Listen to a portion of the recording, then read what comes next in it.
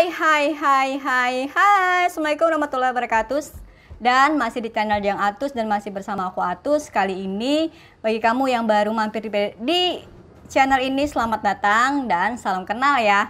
Nah kali ini aku mau bikin masker pare dan air mawar untuk flek hitam. Bagi kamu yang mengklik video ini yang lagi mengalami flek hitam Yang baru aja atau yang lama itu kudu bener-bener ya wajib untuk bikin yang masker yang satu ini. Karena masker yang satu ini bagus banget buat kamu yang bener-bener ngeplek dan juga yang bopengan yang bener-bener udah kamu udah pakai produk yang lain dan macam-macam tapi nggak berhasil kamu bisa coba si masker pare dan air mawar ini. Dan tentunya untuk buat jerawat juga bagus banget tapi yang aku fokusin adalah untuk plek hitam ya. Langsung aja ke cara pembikinan maskernya ini dia Cara membuat masker pare dan air mawar untuk plek hitam.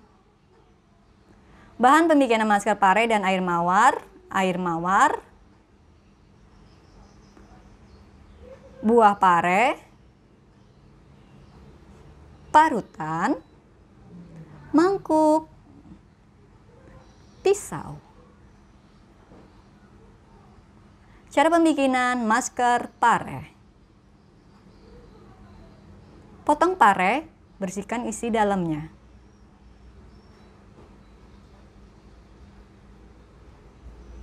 Pastikan si pare itu udah bersih ya. Jadi kita ambil potongannya yang seperti ini, yang kita ambil adalah kulitnya aja. Setelah itu kita ambil mangkok, lalu kita ambil parutan dan si kulit pare tadi kita parut sampai habis. Kamu bisa pakai yang banyak atau sedikit terserah aja ya. Nah ini udah selesai diparut, lalu setelah diparut kita kasihkan air mawar secukupnya, secukupnya gitu. Dan masker spray siap untuk diaplikasikan ke wajah. Cara pakai masker pare dan air mawar untuk plek hitam.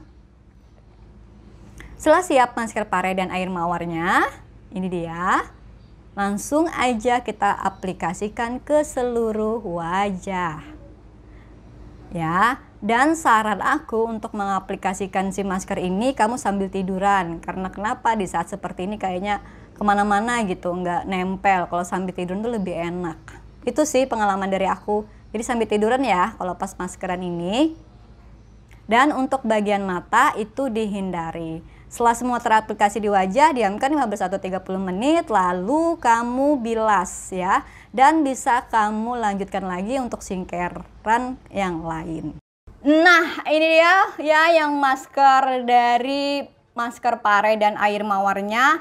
Ini dua bahan ini yang sangat bagus banget buat menghilangkan plek hitam kamu, memudarkan juga tentunya dengan cara bersabar ya dan cara pakainya pun udah tadi. Dan kenapa di sini untuk pare itu bagus banget buat plek hitamnya. Nah, untuk si pare sendiri itu ada banyak banget manfaatnya. Yang pertama, si pare itu untuk anti penuaan dini, terus juga mengurangi minyak yang berlebih, mengobati jerawatan infeksi kulit. Jadi untuk yang jerawat bagus banget juga.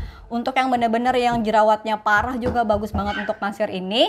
Dan juga buat kulit yang lebih glowing dan untuk mengatasi rambut rontok juga bagus dan dan terakhir adalah untuk plek hitam yang benar-benar membandel. Nah, jadi itu yang fungsi dari si para ini jadi bagus banget buat si plek hitam kamu. Dan si air mawar sendiri itu juga banyak banget manfaatnya buat kulit kita ya. Yang pertama itu pastinya melembabkan kulit, mencegah dan mengobati jerawat, mencerahkan lingkaran hitam di bawah mata, terus juga mengurangi peradangan di wajah, terus juga menghambat penuaan dini, sebagai make up atau pembersih make up dan terakhir adalah untuk setting spray kamu. Jadi untuk si air mawar ini bagus banget. Jadi pas banget untuk perpaduannya kita campurkan di antara pare dan juga si air mawar ini ya. Jadi bagi kamu yang saat ini ya, yang lagi plek hitam, aku sarankan untuk pakai si masker pare ini. Kan ini bagus banget buat si plek hitam. Dan juga buat jerawat juga bagus ya. Bagi kamu yang di rumah selamat mencoba. Dan bagi kamu yang ngerasa video ini bermanfaat jangan lupa kasih like-nya, kasih komentarnya di bawah kalau kamu ada pengalaman memakai si pare atau si masker pare dan air mawar untuk flek hitam ya. Dan bagi kamu yang nontonnya dari tadi kita belum berteman jangan lupa untuk klik dulu tombol subscribe-nya yang ini ya gratis nggak bayar. Dan assalamualaikum warahmatullahi wabarakatuh. Bye.